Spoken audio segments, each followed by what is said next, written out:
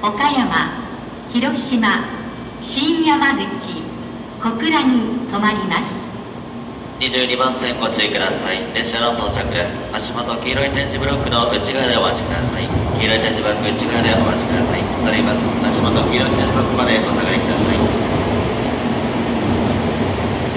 22番線に到着の列車は7時59分。